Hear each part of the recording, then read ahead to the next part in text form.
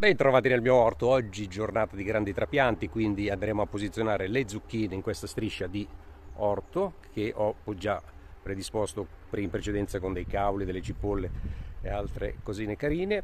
Tutto pacciamata, striscia assolutamente pronta per il trapianto senza nessun tipo di lavorazione. Vado a prendere le piante delle zucchine e andiamo a posizionarle. Allora le zucchine sono pronte nelle loro vaschettine. Questo terreno è stato tutto ricoperto da un foltissimo strato, un bello strato di pacciamatura.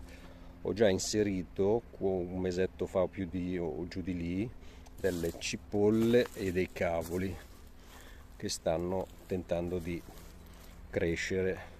Visto le temperature piuttosto bassine in questo periodo, hanno fatto un po' fatica questo terreno, come dicevo, è tutto ricoperto da pacciamatura, per cui l'idea è che non richieda nessun tipo di lavorazione particolare.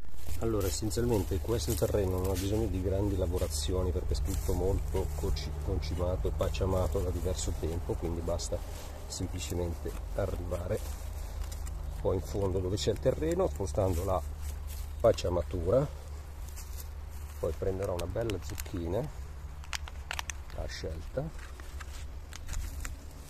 e la metto nel terreno lasciando fuori ovviamente la parte sopra e poi mettendogli ancora intorno la pacciamatura in giro di qualche giorno bagnandola un pochettino per tenerla bella al fresco visto il trapianto si, si sistema nel terreno e dovrebbe iniziare a diffondersi e ingrandirsi.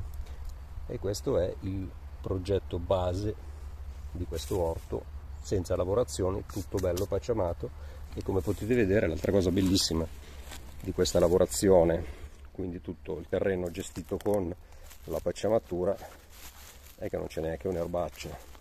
E se per disgrazia un'erbaccia riesce ad attecchire si riesce ad estrarre facilissimamente perché le radici sono poco ancorate al terreno. Per cui le lavorazioni sono molto minime. Adesso andiamo a sistemare tutte le altre zucchine. Allora prime zucchine sono state posizionate ho messo giù solo 8 zucchine per il momento poi aggiungerò delle altre più avanti anche per avere una produzione un po' scalare durante la stagione. Da questa parte come vedete ci sono delle piante da frutto che faranno un pochettino d'ombreggiamento. Sempre importantissimo considerare che le nostre piante anche se amano il sole come le zucchine non devono per forza andare a rosto per cui da questa parte ci sono delle piante da frutto che faranno leggermente schermatura solare per la stagione estiva quando sarà molto caldo e sarà molto intenso il calore che riceveranno. Le nostre piante anche se ricevono 6-8 ore di sole diretto e il resto è filtrato da un po' di ombreggiamento non c'è nessun problema matureranno tranquillamente. Questo comporterà che avranno meno esigenze idriche e staranno più in salute da questa parte dove per esempio questa pianta di mela non è ancora ben sviluppata e non farà l'ombra che desidero che abbiano le mie zucchine andrò a inserire delle piante di copertura e anche un po' se volete coreografiche ma bellissime come il girasole. Le pianterò questa parte qua. Vedete il terreno è terrazzato quindi questa è una linea nord-sud diciamo la parte più a sud viene un po' schermata con questi girasoli, queste piante e quindi andrò a garantire un po' di benessere ulteriore alle piante di zucchine soprattutto appunto nei periodi più caldi dell'anno.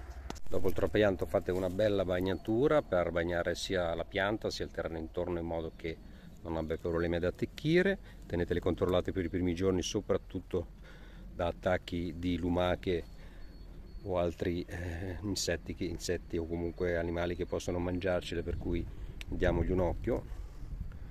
Il terreno è già abbastanza concimato perché è stato completamente ricoperto da compost in uh, quantità decisamente importante ma se pensate che il terreno abbia bisogno ancora un po' di nutrimento per garantire tutti gli elementi alle nostre piante potete aggiungere una manciatina di pellettato giusto intorno alla pianta per dargli un pochettino di spinta iniziale.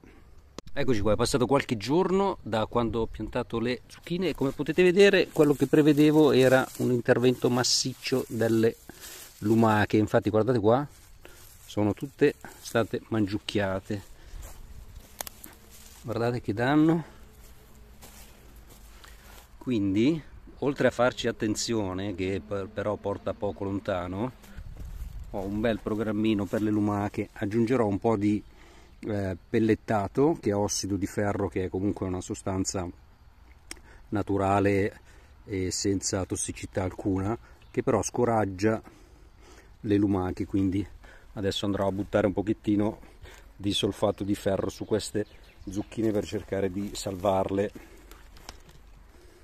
Bene lavoro terminato fate un bel mi piace iscrivetevi al canale commentate chiedete se avete bisogno di qualche informazione. Al prossimo video. Ciao